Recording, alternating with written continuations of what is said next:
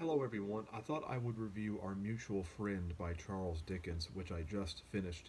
Now this was Dickens's last completed novel, and it certainly is a long one. It's uh, 850 pages, which is probably why it took me uh, nearly five months to finish it. I've been reading it since September.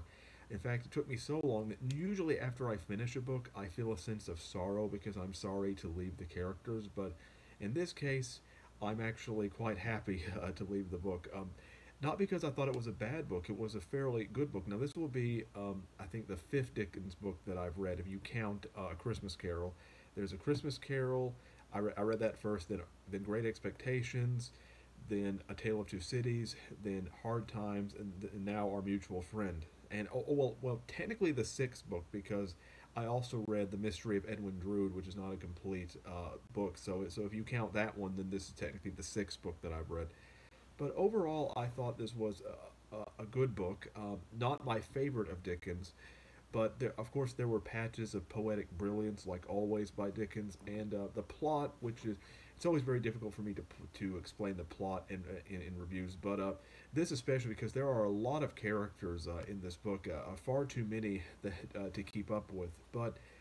But there are several different plots going on at the same time. But the stories uh, primarily revolve around two different characters, one named Lizzie and another named um, Bella, and the story basically begins when um, this character named John Harmon um, supposedly uh, dies uh, in a in in in the, the, the Bay of London, and his and, his body is found, and then and, and because of that, um, his fortune goes to these to, to this couple called uh, the, called the Boffins, and they basically take possession of his estate. But then there's this character named Bella, who um, originally was supposed to marry John Harmon, but then she but but she ends up basically living with the Boffins at, at their their estate, and then and then there's this other character who becomes mysterious character who becomes their secretary, and I can't really say more than any more than that because um because eventually you learn that not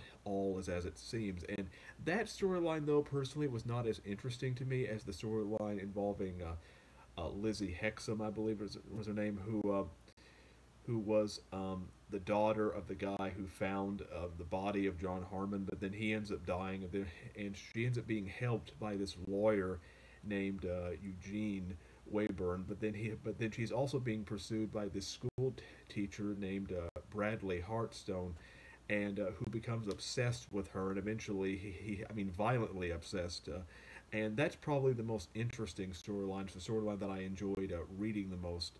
Um, and, and and I would say that storyline is pretty solid. Some of the others I didn't, I didn't, I didn't like as much. Um, for example, a lot of the drama in the book turns out to be fake, um, and, and, therefore you're kind of disappointed because a lot of things that seem to have meaning uh, ultimately didn't have meaning later on, and therefore I was kind of disappointed by that. But overall, the book the book has a very rich world. There's a lot of atmosphere in the book. So overall, I enjoyed reading Our Mutual Friend. Not as much as some of the other books, but this is still a solid read. And I wouldn't recommend necessarily starting with this if you're just if you're just getting involved with Dickens. But but after you've read three or four Dickens book, I, I would say go ahead and, and read this because you'll be ready for